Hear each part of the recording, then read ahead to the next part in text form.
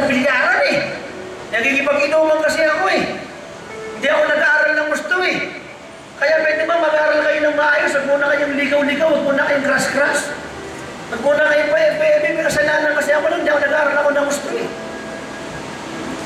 Kaya hindi din ako magaling mag-English eh. Kaya nga pati nga si Joseph, kinukuray ako palagi, Papa, mali English mo ha. Sabi pabayaan mo, hindi ako nag-aaral ng gusto, kaya ikaw mag-aaral ka ng gusto. Idagdag mo ba, napakahirap ng buhay namin eh. Walang tatay na nag-aasikaso. Wala eh, ganun talaga ang buhay. Tao ko ho ba rin? We have left everything Apostle Peter said. Then what is in store for us? And Jesus said, Jesus answered, You will receive hundredfolds. You will receive hundredfolds. Amen? Ibabalik sa iyo ng Diyos! Sobra-sobra. Baka gusto mong palakpakan ng Diyos. Humihirap ba ang Kingdom of Jesus Fellowship? Humihirap ba ako ng pamilya ko?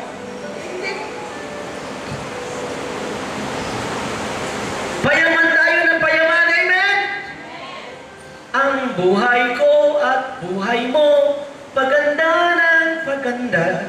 Ang buhay ko at buhay mo, payaman ng payaman. Paapoy ng paapoy, pagwapo ng pagwapo. Ang lahat ng iyan dahil kay Kristo. Amen!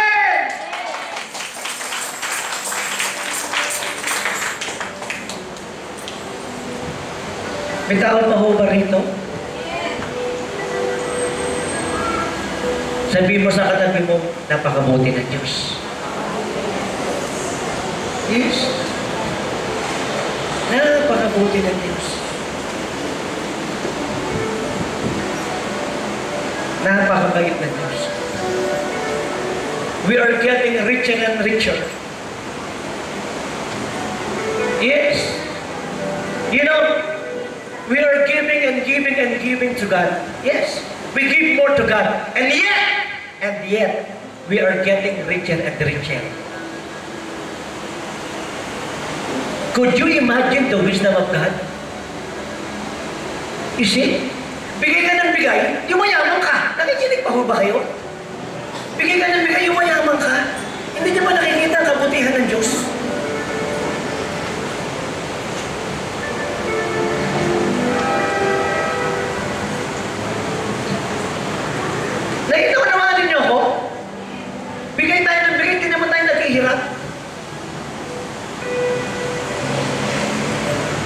See? We, come, we keep on giving and giving and giving to God. And yet, the Lord is making us richer and richer. Why? Because what we give, the Lord return, return is returning them, them, them all hundredfolds. Amen? Palakpakan natin sa Lord. Nalabitin mo katabi mo na matapos magbigay, ito mo na ngayon. Meron pa kayong chance bago matapos ang taong ito, magbigay kayo, gumawa kayo ng isang paggawa at magbibigay na hindi nyo pa ginawa sa tanang buhay nyo at i-bless kayo ng Lord. You, you, you have still chance. You are not watching, listening out there. Give that you have never, an amount that you have never been given to the Lord before. Do something for God that you have never done before in your whole life. And the Lord is saying to us, God will bless us more and more abundantly. Amen. Palakpakan natin si Lord. Ituloy natin ang pagbasa. Ano nang number 2 na tayo? We're almost done. His commitment and dedication despite of opposition. His commitment and dedication to his ambition to preach the gospel of Christ despite of opposition. Think. Paul's one and only ambition is to preach the gospel of Christ. And we could see his dedication and commitment despite of opposition. Acts 18 verse 16. So, mali yata ako. Yan ba yung nakalagay? Subukan mo nga. Sa verse 6. Dali lang ha. Ako yata yung mali sa gilid lang. Hindi si Sir Elma ang mali.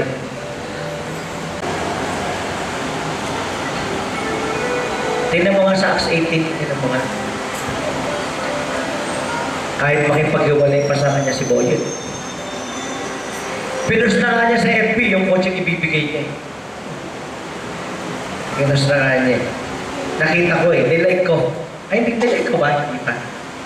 Yung ba yung niya may ibibigay kay Lord? O bibili kang bago na para kay Lord? Acts 18. Mandali lang. Tignan mo nga Acts 18, basahin mo nga. I-roll mo nga. Acts 18. Saglit lang ha. Verse 6. Tignan mo nga yung verse 6. Tignan mo nga yung verse 6.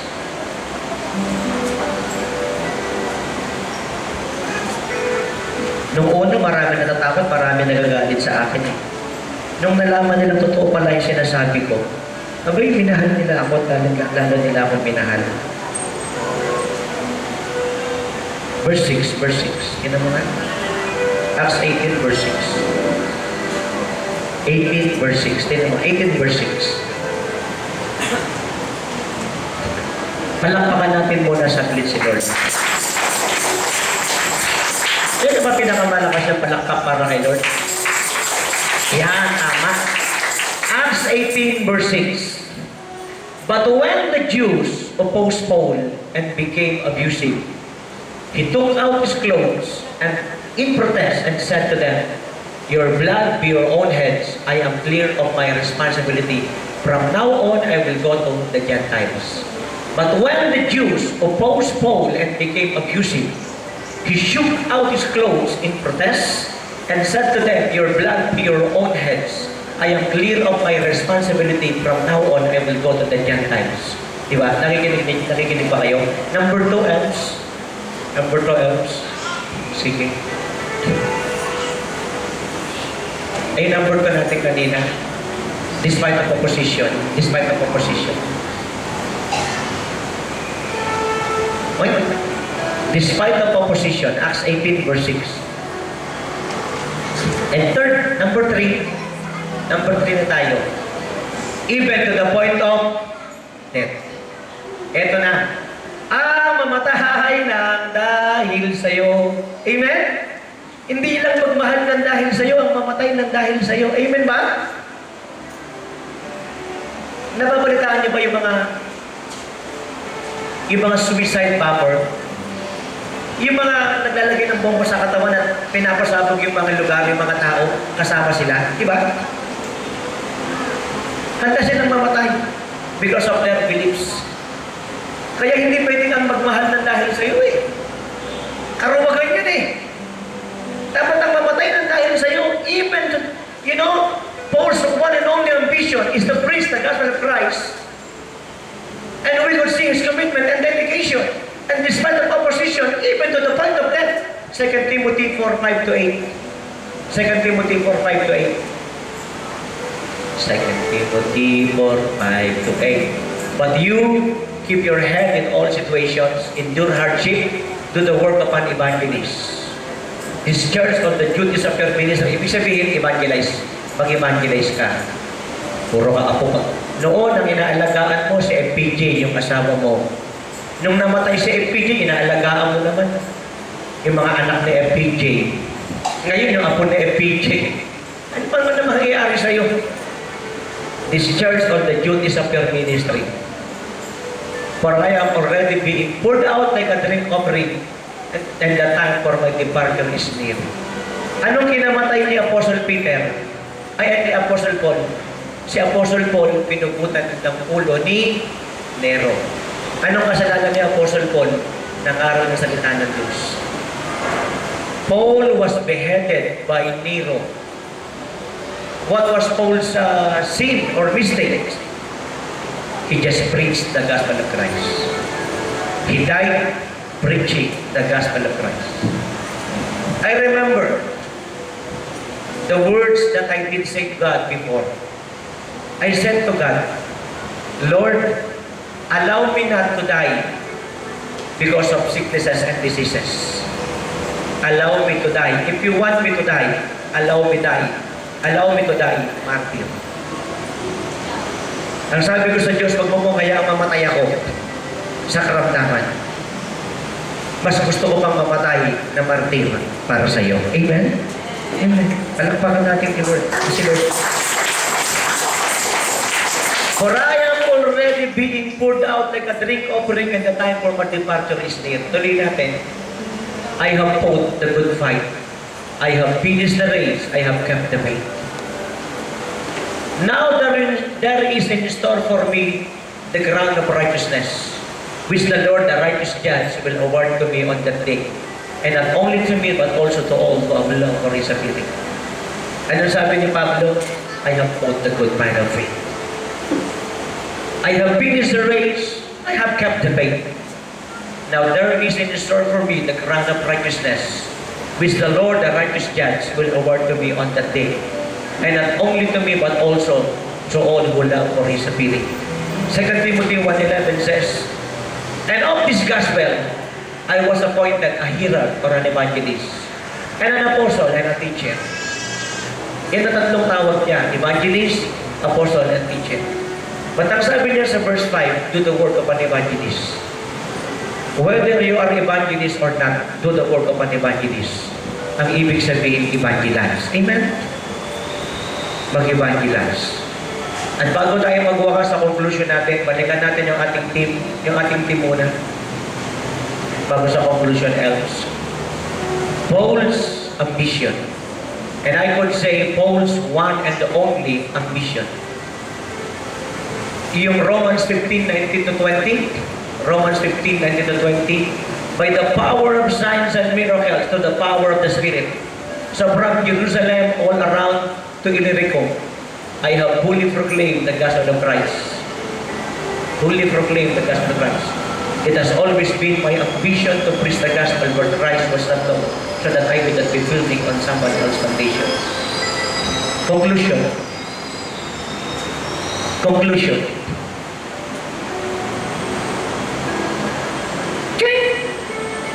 Iniisip mo yung kotse ibibigay mo kay Lord na blue na lang pwede na. Kung hindi pwede blue pula. Let us be like Paul. Preach the gospel of Christ to all people, wherever we are right now, and wherever we go.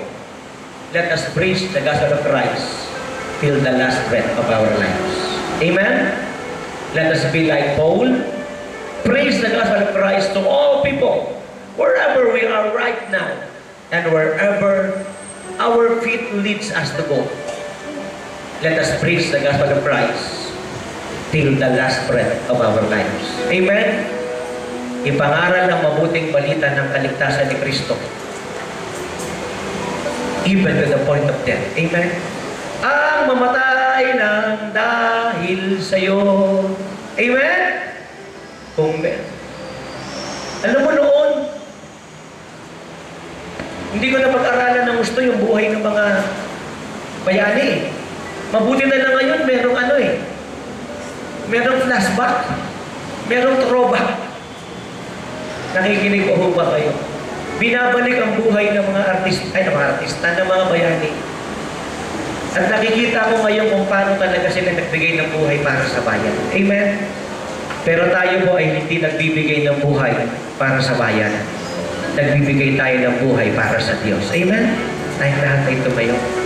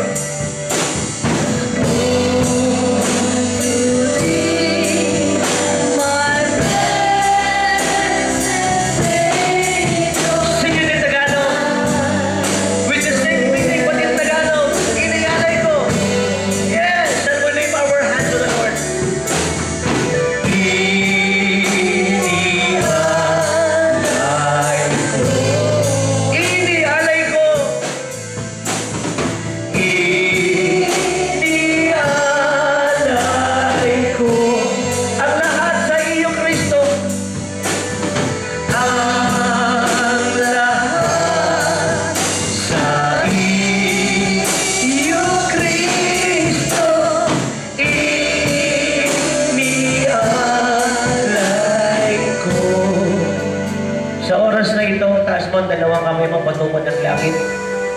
Habang ikaw ay nakayamat nakapikit. Huwag mo munang kausapin, kaliwat ka ng likod at harapan. Sabihin mo ito nang galing sa kiputuran ng puso mo. Ako po'y lumalapit sa iyo ng may mapagpakumpamang puso. Inaamin na kulang.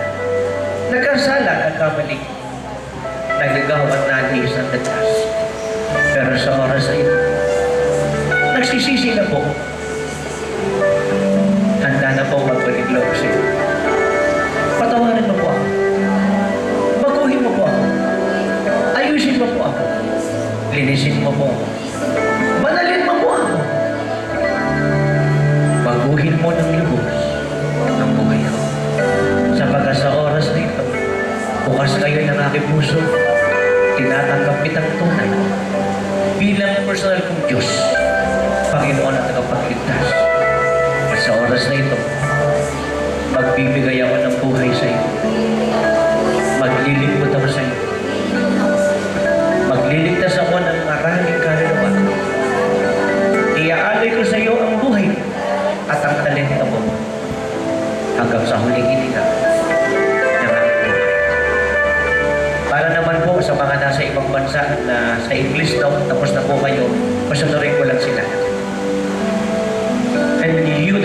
Watching and listening out there, raise your hands towards God. Repeat this prayer after me. Say it from your heart. Jesus, forgive me of all of my sins and and iniquities. I am opening the door of my heart to you. Come, Jesus. Come. Enter into my heart. Take full control of my life, oh Jesus. Forgive me of all my sins and iniquities. Wash me by your blood. Make me a brand new person in Christ. I am now accepting you as my personal Lord, God, and Savior. And now, I am committing my whole life unto you. Use my life for your glory. I am offering my breath, even my last breath, for you, O Jesus. I will serve you. I will give unto you. And I will evangelize more souls for thee, O God. Ako na lamang po ang mananalangin po, meron kang sakit, meron kang karamdaman. Ipatong mo ang kamay mo sa puso mo. If you have sicknesses and diseases right now, or if you have prayer requests right now, the Lord will surely heal you and grant the request of your heart. Somebody that are here or watching and listening out there, the Lord is healing your eyes. Yes. The Lord is healing your nose. The Lord is healing your, your lungs.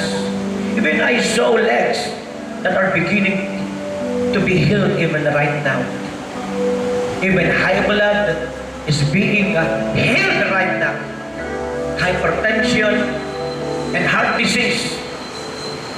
Even, even impaired hearing, even impaired hearing are being healed right now.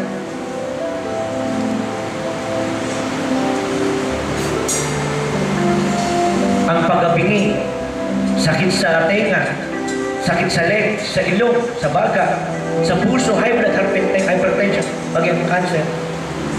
Lahat ng uri ng sakit at karamdaman ay pinapagaling ng Diyos. At ang pamilyang hiwa-hiwalay, magkakatayo, pulurin mo kapwa ma, magsama-sama. At maging maligaya. Hindi lamang sa araw ng holiday, araw-araw sa kanilang buhay. Hindi ko po maisa-isa ang kanilang panalangin. Sagutin niyo po ang kanilang panalangin. You know, Father, I cannot mention one by one their prayer requests. But I pray, grant all their prayer requests I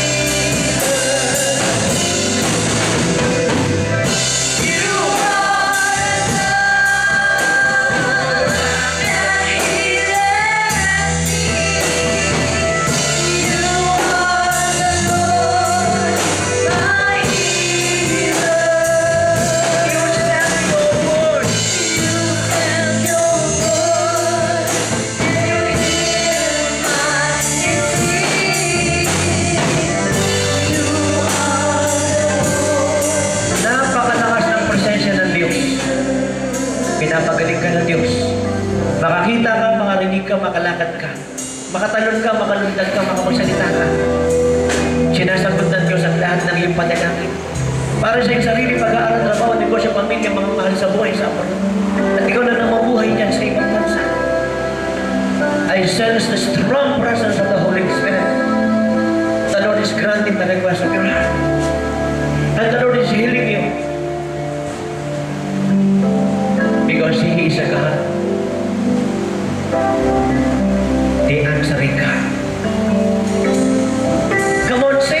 Say thank you to Jesus. Thank you, Jesus.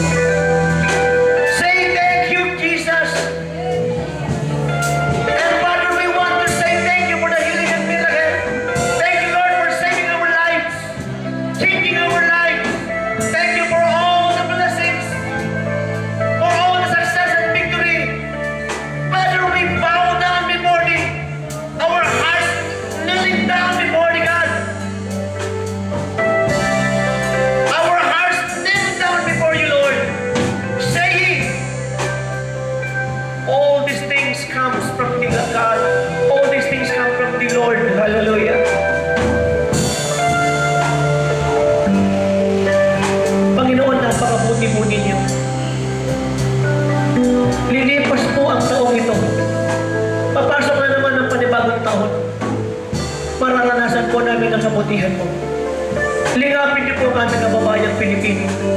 Lingapin po ninyo ang maraming tao sa buong mundo na hindi nararanasan ang kabutihan at biyaya at pag-ibig at kaligtasan O Diyos. Gamitin niyo po kami, Panginoon, para iparating sa kanila ang iyong pag-ibig. Ang iyong kaligtasan, ang iyong, ang iyong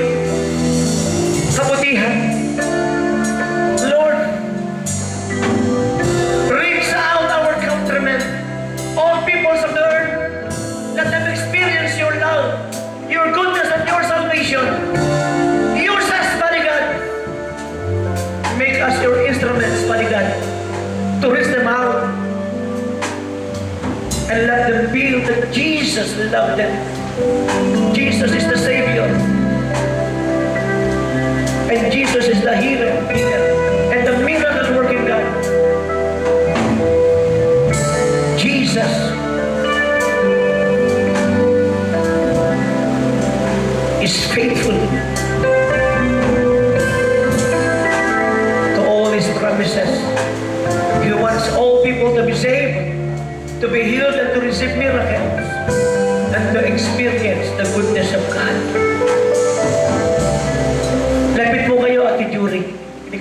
Bigyan po, bigyan po kayo ng special prayer. Huwag niyo po sayangin sana ito.